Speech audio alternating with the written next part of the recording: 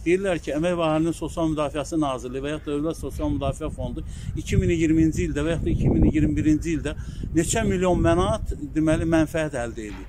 Mən başa düşmürəm. Siz Gədəbəy kartofumu satırsınız, Şəmkir soğanımı satırsınız, siz mənfəət əldə eləmisiniz. Mən başa düşürəm burada bəzi hoqqabazlıqlar var, və bəzi əməllər var və onlar elə bilirlər ki, biz onu bilmirik, biz onu bilirik. Dəyərli izləyicilər, Kanal 13-ün efirindən sizləri salamlayıram. Efirdə mən Şamil sizinləyəm. Qonağım isə polkovnik Üzeyir Cəfərovdur. Üzeyir bəy, xoş gördük sizi. Təşəkkür edirəm dəvətinizə görə, Şamil bəy. Mən təşəkkür edirəm dəvəti qəbul etdiyiniz üçün Üzeyir bəy. Üzeyir bəy, e, bir neçə gündür ki, Əmək və Əhalinin Sosial Müdafiəsi Nazirliyi ilə e, ehtiyatda və istifadə olan zabitlərin arasında bir gərginlik yaşanır. Bu barədə sosial şəbəkə hesabınızda da qeyd etmisiniz ki, zabitlərin e, pensiyası artırılmır. Niyə artırmırlar pensiyanı? Səbəb nə göstərirlər? Deməli, hörmətli izləyicilərin diqqətinə onu çatdırmaq istəyirəm ki, 2021-ci il, yəni ötən il ölkə üzrə bütün maaş və pensiyaların artırıldığı halda nədənsə Əmək və Əhalinin Sosial Müdafiəsi Nazirliyi bir hoqqabazlıq ortaya çıxarıb. O hoqqabazlıq da bu günə qədər də davam edir. Yəni bu günləri artıq yanvarın sonuncu günüdür. Sabah yeni bir ay başlayır. 15-nə kimi onlar bu məsələni həll eləməli idilər, amma çox təəssüflər olsun ki, onlar bu məsələni hələ də həll etməyiblər və söz oyunu ilə məşğuldurlar xeyli müddətdir. Yəni siz dediniz bir neçə gün, əslində qalsa 2 həftədən çoxdur. Yəni qanunların Azərbaycan vətəndaşlarına verdiyi o imkanlar çərçivəsində vətəndaşların müraciətinə baxılması haqqında Azərbaycan Respublikası qanununun 10-cu maddəsinə əsasən hərbi qulluqçuların müraciətləri 15 iş günü ərzində, yəni cavablandırılmalıdır, baxılmalıdır. Amma yəni bu müddət ərzində e, bəzi növbəçi e, cavablar yəni e, göndərilib elektron e, variantda. Bu gün biz gözləyirik ki, onlar cavabları yazılı şəkildə təqdim eləyəcəklər və növbəti addımlarımızı yəni atacağıq. Növbəti addımlar da ondan ibarət olacaq ki, həm hüquqi müstəvidə olacaq, həm də ki, rəsmilərə yəni bu cavablar təqdim olunacaq. Cavablar e, yəni onların bizə verdiyi cavab e, həm konstitusiyaya ziddir, həm qanunlara ziddir. Yəni Biz yanvarın əvvəllərində bu məsələni ictimailəşdirəndə Əmək və Əhalinin Sosial Müdafiəsi Nazirliyinin rəsmisi Fazil Talıbov belə bir fikir səsləndirdi. Yəni daha doğrusu rəsmi cavab verdilər ki, bizim e, nazirlik tərəfindən hərbi qulluqçuların pensiya təminatı ilə bağlı hər hansı bir təklif irəli sürülmür. Əslində biz onların təklif irəli sürülməməyi deyil, biz onların konkret e, qərar verdikləri haqqında danışırdı. Qərar da çox absurddur. Yəni bundan əvvəl hərbi qulluqçuların pensiya təminatı, hərbi qulluqçuların pensiya təminatı haqqında qanunla tənzimlənirdi. Amma təəssüflər olsun ki, bu ə, e, cavan, belə deyək də, ə, e, səriştəsiz ə, e, kollektiv bu qanunu ləğv elətdirib, yəni 2007-ci ildə qanunu ləğv elətdirib, hərbi qulluqçuların xidmətini bunlar əmək fəaliyyətinə yəni şamil etdilər. Yəni e, bərabər tutdular. Bu əslində qalsa çox kobud qanun pozuntusudur. Yəni biz əmək fəaliyyəti ilə məşğul olmuruq. Biz dövlət qulluğunun bir növü olan, yəni hərbi xidmətlə məşğuluq. Hərbi xidmət də demək olar ki, dövlət qulluğunun bir qoludur. Bütün bunları bildikləri halda, yəni bunlar bunu əmək pensiyasının gözünə qatdılar. Çox qarma-qarşılığı yaratdılar. Əvvəlki qanunun 40-cı maddəsində o hərbi qulluqçuların deməli e, təminat xərcliyi ilə bağlı maddə nəzərdə tutulduğu halda bunlar bunu götürdülər deməli Nazirlər Kabinetinin 2007-ci il tarixli bir e, qərarı ilə, yəni tənzimləməyə başladılar. O qərarın da 6-cı maddəsində, 6-cı bəndində çox aydın şəkildə göstərilir ki, yəni e, xidmətdə olan hərbi qulluqçuların maaş və e, belə deyək də e, digər e, təminat xərcliyi artdığı halda bu e, deməli e, ehtiyatda olan hərbi qulluqçulara da əlavələr şamil olunur. Amma bunlar bu qanunu e, özünə məxsus şəkildə, yəni başlayıblar e, deməli izah eləməyə. Bunu da çox belə deyək, hiləgərcəsinə 2000 deməli 20-ci ilin sentyabr ayında səhv eləmirəmsə, deməli bunlar müzakirə mövzusu kimi bunu göndəriblər e, yazılı şəkildə e, Konstitusiya Məhkəməsinin plenumuna və Konstitusiya Məhkəməsinin plenumu orada bəzi e, dəqiqləşmələr həyata keçir və bunlar əllərində bu həmin Konstitusiya Məhkəməsinin 2020-ci il tarixli qərarını əldə rəhbər tutaraq deməli bunu indi tətbiq eləmək istəyirlər. Əslində qalsa bu günləri 100 minlərlə, bəlkə də sayı 100 minlərlə artıq olan insanı bunlar bilərəkdən dövlətin və hökumətin apardığı siyasətdən narazı salıblar. Özü Elə bilərəkdən. onu soruşacaqdım e, Üzeyir bəy. E, dəqiq bir e, araşdırma varmı? Nə qədər istifada olan zabit və ehtiyatda olan Mən zabitin e, pensiyası artırılmır? Deməli, e, ən azından 50-55 min civarında e, ehtiyatda olan güc strukturlarının nümayəndələri var. Bu 50-55 mini ona görə deyirik ki, hər bir adamın həyat yoldaşı, övladlarını da biz götürəndə bu 100 mini ötən bir rəqəmdir. İndi dəqiq rəqəmini demirəm, dəqiq rəqəmi e, daha doğrusunu Əmək və Əhalinin Sosial Müdafiəsi Nazirliyinin Dövlət Sosial Müdafiəsi Fondu bilir. Çünki orada təkcə Söhbət Müdafiə Nazirliyindən, Dövlət Sərhəd Xidmətindən, daxili qoşunlardan və yaxud da ki, Fövqəladadan, Fövqəladə Allah Nazirliyindən, digər qurumlardan getmir. Orada hərbi prokurorluq var, prokurorluq var, miqrasiya ə, xidməti var, ə, səfərbərlik və hərbi xidmətə çağırış xidməti var, polis orqanları var, digərləri. Yəni burada say indi mən 100 min deyirəm, mən təxmini rəqəm deyirəm. Bəlkə də burada ə, sayı ə, 200 mini də keçsə, yəni ailə üzvlərinin də bir yerdə çünki yəni bir ailədən bir qabdan ə, belə deyək, qidalanırlarsa, bu hamısı yəni bir yerdə nəzərdə tutulur. Ona görə yəni bu qədər insanı, yəni ə, bu bahalıq şəraitində suyun qiyməti qalxıb, çörəyin qiyməti qalxıb, yanacağın qiyməti qalxıb, o cümlədən ə, kommunal ə, xərclərdə və bu günləri ərzaq ə, belə deyək də ərzaqda olan o artımlar faktiki olaraq bizim o aldığımız belə deyək, indiyə qədər aldığımız pensiyaları da anıncaca artıq biz bunu hiss edirik. Hərçənd ki biz ölkənin ən təminatlı belə deyək də pensiya alan şəxslərindən olmuşuq. Biz heç vaxt bu ağırlığı əvvəl hiss eləməmişdik. Amma indi artıq o ağırlığı hiss edirik. Çünki indi deyirlər pandemiya ilə əlaqədar bütün dünyada bahalaşma gedir, digər məsələləri, yəni e, arqument kimi səsləndirirlər olsun. Yəni biz də bu ölkənin vətəndaşı kimi biz bunu e, anlayışla qəbul edirik. Amma bizə təsir edən odur ki, necə deyirlər, bağda ərik var idi, salamməlik var idi məsələsi idi. Yəni e, nə qədər ki torpaqlar işğaldan azad olunmamışdı, hərbi və hərbi qulluqçular belə deyək, saya e, alınırdı. Hörmətə malik idilər. Amma bu 2020-ci ilin ki bu 44 günlük vətən savaşından sonra faktiki olaraq bir səlib yürüşü başladı. Bu səlib yürüşü də o qədər də yəni xoşa gəlməyən e, məsələlərlə müşahidə olunub. Biz bunu e, rəsmilərin diqqətinə çatdırmışıq. Yəni bu qədər insanları yəni narazı salmaq olmaz, amma təəssüf Bunun arxasında maraqlı qruplar və yaxud şəxslər varmı Üzeyir bəy? Mən onu deyə bilmərəm. Yəni amma e, istənilən halda yəqin ki, kimlərsə var ki, yəni bu məsələni bu şəkildə, yəni şişirdirlər, bu şəkildə narazılığı, yəni dilə gətiriblər. Yəni bunun sabah fəsadları olacaq. Şamal bəy, hörmətli izləyicilər də onu unutmamalıdırlar ki, burada maddiyyatdan daha çox məsələnin mənəvi və belə deyək, hüquqi tərəfi var. Mənəvi tərəf ondan ibarətdir ki, bundan sonra heç kim öz həyatını hərbi xidmətlə, ümumiyyətlə, yəni güc strukturu ilə bağlamağa cəhd eləməyəcək. Bir müddətdən sonra mən bunu bir dəfə də demişdim. Yenə də deyirəm ki, bunların bu belə deyək başı soyuqluğu, belə səhlənkarlığı, məsuliyyətsizliyi nəticəsində Dövlət İmtahan Mərkəzi elan verəcək ki, hərbi məktəblərə getmək istəyən e, heç kəs yoxdur. Yəni e, kadrlar çatışmır. Ölkənin nə qədər ki biz müstəqil dövləti güc strukturlarında xidmət edəcəyik. Burada söhbət təkcə Müdafiə Nazirliyi ilə yekunlaşmır. Orada digər qurumlar da var. Yəni heç kim ümumiyyətlə yəni özünə bu peşəni seçməyəcək. Çünki bunlar bu qanunu qəbul eləməklə güya bunlar hansısa bir e, vəsaitə qənaət edirlər. Əslində qalsa çox belə biabırçı bir mənzərə var ortada. Çünki Bununla əlaqədar e. Müdafiə Nazirliyinə müraciət etmisiniz. Çünki Yo, yo, yo, adətən o- zabitlərin e, onlar bir şey deyim. nəzarət edib. Yo yo yo. Burada yəni Müdafiə Nazirliyi və ya da digər qurumluluq heç nə yoxdur. Onlar sadəcə bu məsələyə rəy bildiriblər.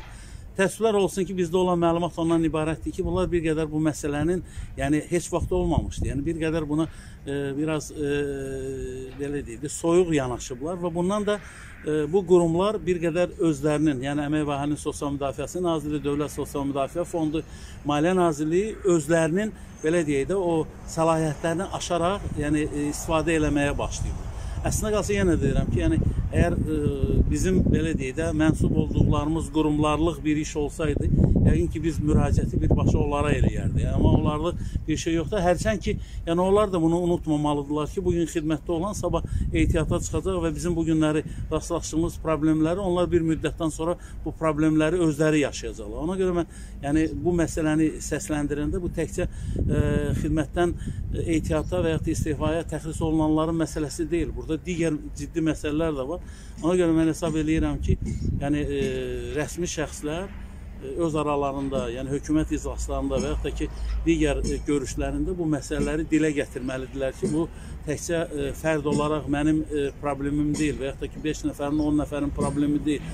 Bu ölkənin, belə deyək də, Ali Baş Komandanın qızıl fondu olan, ehtiyatda olan zabit və gizirlərin əskər və çavuşların mənafeyinə toxulan bir məsələdir. Ona görə mən hesab edirəm ki, bu məsələdə yəni e, son dərəcə diqqətli və ehtiyatlı olmalıdır. Bu məsələ öz həllini tapmasa, ölkədə çox böyük narazılıq olacaq. Mən bunu indidən e, qəti olaraq deyirəm ki, artıq o narazılığın işarətlərini mən sosial şəbəkələrdə də, e, jurnalistlərə müraciətdə də, ictimaiyyətdə də görürəm. Maraqlıdır ki, Züheyr bəy, e, bu e, rəhbər şəxslər də ölkədə xarici qüvvələrin e, təzyiqini hiss edirlər, bilirlər. Niyə zabitləri narazı salırlar? Mən yenə də deyirəm ki, bu məsələni Yəni bundan istifadə hallar ola bilərmi ümumiyyətlə xarici güclər tərəfindən? Mən sizə yenə də deyirəm ki, bunu əsla istisna etmək olmaz. Sözsüz ki, yəni bu həssas məqamdan istifadə eləməyə çalışan qüvvələr olacaq biz elə düşünməməliyik ki, elə hamı Azərbaycanı istəyir. Azərbaycanı istəməyən kifayət qədər qüvvələr də var ki, o qüvvələr də bundan çox rahatlıqla yəni istifadə edəcəklər. Ona görə də mən hesab edirəm ki, bizim e, müvafiq qurumlar yəni bu məsələyə diqqət yetirməlidir. Diqqət yetirməyəcəyi təqdirdə, yəni o boşluqdan bəzi qüvvələr istifadə edəcəklər, sonra isə bunun acı nəticələri, acı fəsadları olacaq. Siz e, statusunuzda belə bir e, söz yazmışdınız ki, bunu edənlər bizim millətdən e, deyillər. Bəli, bəli, mən bunu bu gün də təkrar eləyirəm ki, yəni bu e, qərarı verən adamlar əv əvvəla Azərbaycanın dövləti maraqlarından çıxış etməyən insanlardır. Əvvəla əgər onlar Azərbaycanın dövləti maraqlarından e, çıxış eləsəydilər, bu qərarı verməzdilər. Bu qərarı verən adamlar mən bayaqlar dedim ki, o, o məsələnin mənəvi tərəfini düşünməyiblər. Yəni sən Azərbaycan dövlətinin müdafiəçisinin əgər belə deyək, sosial müdafiəsini zəiflədirsənsə, onun konstitusiya ilə ə, təsbit olunan hüquqlarını məhdudlaşdırırsansa, hansı dövlətçilikdən söhbət gedə bilər? Bu məsələnin çox dərin kökləri var Şamil bəy. Hörmətli izləyicilər də bilir. Yəni bu məsələnin incəliklərini bilən adamlar sanki Azərbaycan ordusundan bu 44 günlük savaşda e, belə deyək, e, uğur qazanmış e, güclərdən bir qisas alırlar, bir e, heyf heyf çıxırlar. Mən mən belə başa düşürəm. Olmaz. Yəni mən yenə də deyirəm ki, bir vaxtlar bizə bir uzadan var idi. Səlim Müslümov. Yəni e, Sahil Babayevin o e, xələfimi deyim, sələfimi deyim.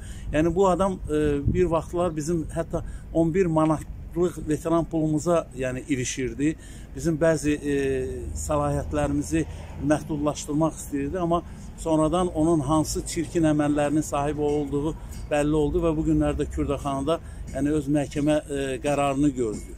Mən düşünürəm ki, bu günləri bu səhv addımı atıb belə deyək də o kamera və mikrofonlar qarşısında qürurlanan Sahil Babayevlər və digərləri Fazil Talıblılar, Anar Əliyevlər və digərləri yəni bir gün qanun qarşısında cavab verməli olacaq. Yer gəlmişə onu da deyim ki, yəqin ki, sizin məlumatınız var ki, Azərbaycanda yəni bir petisiya həyata keçirildi.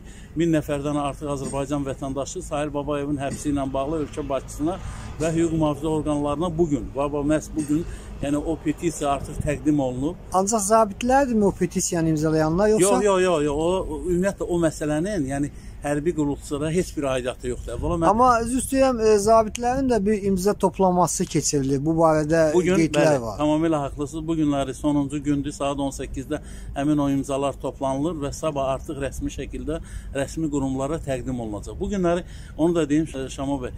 Deməli e, Sahil Babayev özünə bir belə deyək də bir qalxan e, obrazında e, ölkənin bir neçə tanınmış hüquqşünasını departamentə işə götürüb, yəni onlara yüksək e, qonorarlar ödəyir. Gün onlar e, belə deyək də məhkəmələrə gəlib e, ağa qara deyəcəklər. Yəni Sahil Babayevin o ağılsız qərarlarını müdafiə edəcəklər. Bu mümkün deyil. Yəni məsələ elə Azərbaycanla məhdudlaşmayacaq ki, yəni əgər bu günləri sifarişlə məhkəmə qərarları e, qəbul olunacaqsa, bunun sabah Avropa məhkəməsi var. Mənim özümün Avropa məhkəməsi, Avropa İnsan Hüquqları məhkəməsi ilə bağlı bir belə də yaşadığım 8 il ərzində burada apardığım mübarizənin sonunda Avropa İnsan Hüquqları məhkəməsi bizim sağ olsun hörmətli vəkillərimiz, yəni e, vasitəsilə o vicdanlı vəkillərimiz vasitəsilə yəni, o məsələ sona çatdırıldı. Yəni e, mən onu da yəni diqqətə çatdırmaq istəyirəm ki, bu məsələ bu gün və sabahla yekunlaşmayacaq. Bu məsələnin davamı olacaq. Bu mə məsələnin Yəni zabitlər qərarlıdır ki, Azərbaycanda məhkəmə instansiyalarında məsələ həlli tapmasa Avropa İnsan Bunu Hüquqları birmənalı- Məhkəməsinə müraciət edəcəklər. Bunu bir mənalı olaraq biz bildirmişik. Bizim e, hər hansı bir qanundan kənar addımımızı heç kim gözləməsin. Ay zabitlər duracaqlar. Bəzi zabitlər vardı, hansılar ki deyirdi gedək orada Sahil Babayevi, nə bilim üzbə sürət başa salaq, nə bilim nə eləyək, belə elə. Bizim qanundan kənar bir dənə də addımımız olmayacaq və buna da heç kim ümid eləməz.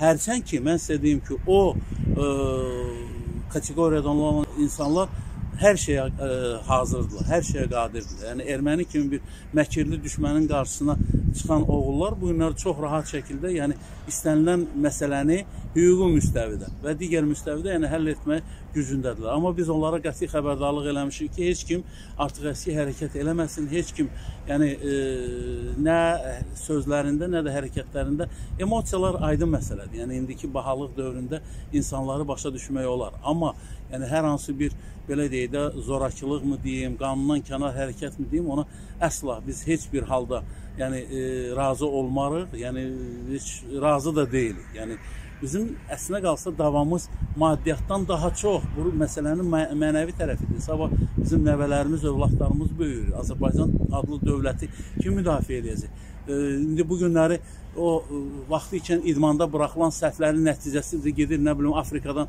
idmançı gətirirlər ki, sən gəl Azərbaycanın şərəfini qoru. Nədir? Gedib sabah Afrikadan və yaxud da ki Asiyadan və yaxud da ki okeanın o tayından əskərimi gətirəcəyik, deyəcəyik ermənilər kimi gəlin bizim sərhədimizi və yaxud da ki dövlətimizi qoruyun. Ayıbdır. Yəni ayıbdır belə şeylərlə məşğul olmaq. Mənəvi tərəflərini önə çəkirsiniz bu məsələnin Üzüy bəy. E, bundan sonra müharibə olmasın. Müharibə olarsa e, bir zabit kimi yenidən döyüşə qatılarsınız sizə göstərilən bu e, diqqət e, sayğıya görə. Mən sizə bir şey deyim. İndi bunu üçün demirəm Şamil bəy. Bunu tam səmimi deyirəm. Əgər biz bu günə qədər Azərbaycanda qalıb, yəni o qeyrəti, namusu müdafiə eləmişiksə, bundan sonra da qalacağıq. Yəni biz kiməsə görə bu torpağı və nəyəsə görə bu torpağı e, müdafiə eləməmişik. 90-cı illərdə də biz var idik, 2000-ci illərdə də biz varıq. Allah nə qədər ömür verəcəksə, bundan sonrakı dönəmdə də biz övladlarımızla, yaxınlarımızla bu ölkənin e, belə deyək də e, təəssübünü çəkəcəyik. Bizim e, nə xaricdə malımız yoxdur, nə mülkümüz yoxdur, nə belə deyək də sığınacağımız e, hansısa bir qüvvə yoxdur və ola da bilməz. Çünki biz Azərbaycanlıyıq, Azərbaycanda doğulmuşuq və Azərbaycanda da necə deyirlər, ömrümüzü başa vurmaq niyyətindəyik. Ay nə bilim bizi küstürəcəklər, bizi nə bilim incidəcəklər. Nəyə nail olacaqlar ki? Kim bu dünyanı tutub gedir? Biz qanunun dili ilə hər şeyə nail olacağıq. Bir gün tez, bir gün gec. Sadəcə səbirlə, hər şeyə səbirlə yanaşmaq lazımdır. Və buradan da fürsətdən istifadə edib kanal 13-ün efirindən dostlara müraciət eləmək istəyirəm ki, heç kim ruhdan düşməsin. Bəzi səbirsiz dostlar var ki, ay nə oldu, necə olacaq? Qardaş xoruz yox idi, sabah açılmırdı. İndi bu artım yox idi, yəni yaşamırdı. Hələlik bu artımı eləmirlər, eləməyəcəklərsə biz bir müddət yəni qanun çərçivəsində haqqımız uğrunda mübarizə aparacağıq və qanunu da sübut eləyəcəyik ki, bu qanun bizə də şamil olunmalıdır və şamil də olunacaq. Məsələ ilə əlaqədar Ali Baş Komandana müraciət etmisiniz Müzüy bəy. Mən də müraciət eləmişəm, digərləri də müraciət eləyiblər. Yəni biz burada gizlətmirik ki, biz düşünürük ki, indi bəzi dostlar da deyirlər. Ali Baş Komandana məruzə olunarkən tamam fərqli bir e, e, məruzə olunub. Yəni e, fərqli məruzə olunub. O fərqli məruzə nəticəsində bu günləri bu məsələ bir qədər şişdi. Yəni bir qədər belə dedi, uzandı. Amma düşünürəm ki, heç bir halda ölkə başçısı Ali Baş Komandan e, vəzifəsində olan şəxs imkan verməz ki, onun ehtiyat belə deyək də e, rezervi, ehtiyat qüvvələri narazılıq eləsin. Amma bu günləri çox ciddi narazılıqlar var. Yəni bu narazılığı indi siz sağ olun, sizin kanal sağ olsun. Yəni biz bu günləri e, internet kanallar vasitəsilə bunu dilə gətiririk. Fevralın 1-dən bizim Milli Məclis belə deyək də öz yaz sessiyasına başlayır. Amma çox təəssüflər olsun ki, bu günə qədər bizim Milli Məclisdən bir nəfərin səsi çıxmır. Üzr istəyirəm ifadəmə görə 100 dəfə üzr istəyirəm. İtdən, pişikdən danışanlar, nə bilim, ə, ə, Afrikadan, Asiyadan danışanlar burada dövlət üçün əhəmiyyətli olan bir kəsimin hüquqlarının pozulmasından ümumiyyətlə heç danışmırlar, dilinə gətirmirlər. Biz bilirik bu məsələnin arxasında kimlər durur və niyə bunlar hələlik danışmırlar. Çünki orada Sahil Babayevin, Samir Şərifovun və digərlərinin hansıları ki, elədikləri bir neçə hərəkət var. Biz onun haqqında bu gün danışmasaq da bir müddətdən sonra açıq şəkildə həmin faktları biz ictimailəşdirəcəyik. Onda onlar özləri üçün belə deyək də lazım olan yerləri axtaracaqlar. Deputatlar çəkinirlər danışmırlar. Yəni yoxsa göstəriş olduğu üçünmü? Valla e, mən e, yenə deyirəm, çox yaxın dostlarım var. Yəni onlara da bu məsələni e, artıq diqqətlərinə çatdırmışıq reaksiyalarından hiss edirəm ki, bunlar e, komanda gözləyirlər ki, nə vaxt bunlara icazə versələr, onda danışacaqlar. Hərçənd ki, bizim müraciətlərdən biri də Milli Məclisin spikeri Sahibə xanım Qafarovaya müraciət ünvanlamışıq. Və biz öz narazılığımızı yenə də deyirəm ki, bu narazılıq süni şəkildə yaradılır. Yəni bir nəfər bu narazılığı bizə sübut edəcək gücündə deyil ki, yəni siz haqlısınız və yaxud da haqsızsınız. 9 ildir bizim milyonlarla vəsaitimiz oğurlanır Şamobil. 9 ildir bizim ərzaq pulumuz 64 manat civarında hesablanır. Halbuki sonuncu yanvar ayında bizim e, hesablamalarımız 191 manat olmalıdır. Düzdür biz 128 manatdan danışırıq.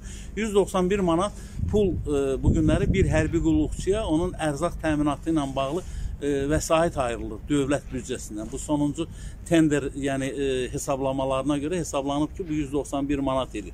Biz bunu da e, göz yumurduq. Amma artıq bunu da tələb kimi qoymuşuq ki, o pul 9 ildir ki, hansı ki milyonlarla vəsait bizim pulumuz qaytarılsın. Bilmirəm, Sahil Babayev villasını satsın, Samir Şərifov nə bilim villaların satsın, bahalı maşınların satsın, cəmaatın pulunu ödəməlidir. Biz onu ödətdirəcəyik. Qanun qanunla ödətdirəcəyik. Kimliyindən asılı olmayaraq. Bu yaxınlarda Azərbaycanda o səsküylü məhkəmələr oldu. Kimlərin villaları, kimlərin malı, mülkü, nə bilim müsadirə olundu. Bir gün, yəni bir gün tez, bir gün gec bu məsələ hadisə, yəni e, baş verəcək. Baxın görün, yəni bizi bu, bu biz bu məsələləri ictimailəşdirəndən sonra görün nə qədər məsələlər ortaya çıxdı. Yanvar ayından Əmək və Sosial Müdafiəsi Nazirliyi əvvəl çox belə hiləgərcəsinə 250 nəfərin pensiyası düzgün hesablanmayıb. Sonra dedilər 2000-dən 3000 arası e, deməli pensiyalar düzgün hesablanmayıb. Yanvarın 21-də bu gün də bu tarixdə qalır. 18 mindən artıq insanın pensiyasının e, deməli az hesablanması deməli elan olundu özləri tərəfindən. Hələ bu 18 min deyir, orada bilirsiniz nə qədərdir? Bunlar nə qədər pulları mənimsəyiblər. Durub fikir verin. Bunun e, vəzifəsi, nazirliyin vəzifəsi yalnız Maliyyə Nazirliyinin ayırdığı pulları pensiyaçılar arasında belə dedik, bölüşdürməkdir və bəzi işləri həyata keçirməkdir. Durub deyirlər ki, Əmək və Əhalinin Sosial Müdafiəsi Nazirliyi və ya Dövlət Sosial Müdafiə Fondu 2020-ci ildə və ya da 2021-ci ildə neçə milyon mənat deməli mənfəət əldə edir. Mən başa düşmürəm. Siz Gədəbəy kartofumu satırsınız, Şəmkir soğanımı satırsınız, siz mənfəət əldə eləmisiniz. Mən başa düşürəm burada bəzi hoqqabazlıqlar var, və bəzi əməllər var və onlar elə bilirlər ki, biz onu bilmirik, biz onu bilirik. Fondlar var, köçürmələr var, kimlərəsə nəyisə transferlər var. Bunlar hamısını biz bilirik. Zamanı vaxtı gələndə buna görə də bunlar cavab verməli olacaqlar. Çox sağ olun Zeyb bəy, təşəkkür edirəm. Mən sizə təşəkkür edirəm.